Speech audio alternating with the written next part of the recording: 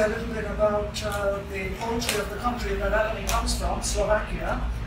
Uh, briefly, some of the uh, poets should be a lot better known.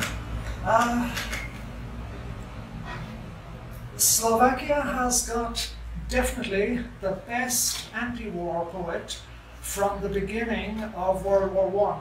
From the end of World War One, there are lots of famous poets like uh, Wilfred Owen. I'm not making any comparisons with those, but from the beginning of the war, easily the most impressive anti-war performance was uh, by a man called Pavol Országh Hviezdoslav. And um, following that, uh, there are two uh, 20th uh, century poets whom I have translated. One of them, uh, some of you were at a launch of mine about um, 13 years ago here in Dublin uh, when I launched a, a, book of selections from Ladislav Novomeský. He was uh, a child of the First World War, definitely, mentally, spiritually. He, um, uh, he was uh, a man of radical politics, and uh, he uh, believed in progress, and he tried to fit the belief in progress with the belief in the human being. Uh, later in the 20th century came a man called Milan Rúfus, who also who believed very much in the human being, he didn't really believe in progress. Um, I have also translated selections from him. Eleni comes to a similar theme uh, in her own way. Comes to the question uh, from a different generation and with different machines. Hers are uh, not so huge, not so monstrous. They're uh, they're more. They seem more friendly, but they come up closer. They're more seductive. Um, my um, power presses were not seductive at all. Uh, anyhow, that's enough really from me. Just out of interest, how many of you speak Slovakian? We're working on English around here.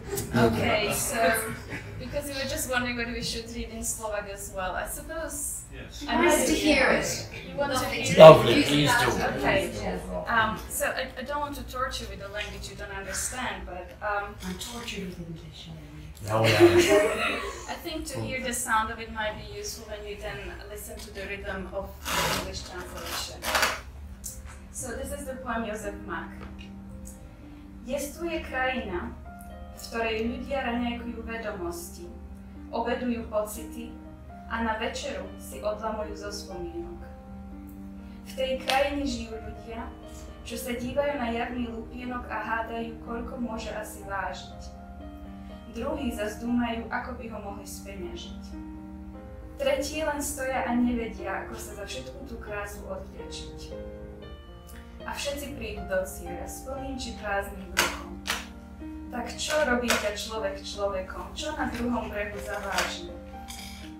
Zastonal zvon na kostolnej veži, priznávaš, že nie si viac ako jeden nedozretý klas, jedno zrnko, čo zasedia zas s túžbami vysoko vo hviezdach, obyčajný Josef Mak. Now the English version. Um, you'll hear that um, John managed to find a rhyme with the personal name Josef Mak, which um, I thought was quite remarkable. So, Josef Mak. There is a land where people breakfast on knowledge lunch on feelings, and break off bits of memory for supper.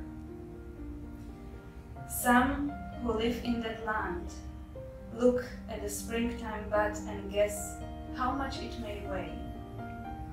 Others ponder how to turn it into money. Others again stand still, not knowing how to give thanks for all that beauty. And all will arrive at the goal with bellies empty or full. So, man, what makes you man? What counts on the other shore?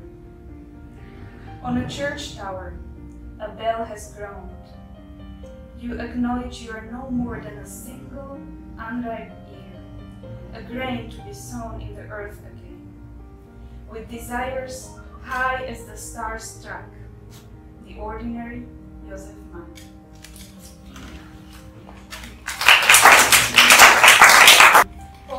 Without a stamp. The SMS rolls over hills and through seas, enclosing puffed up expectations.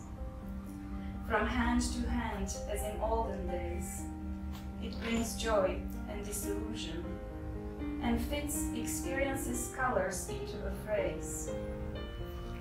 Darling, how I miss you.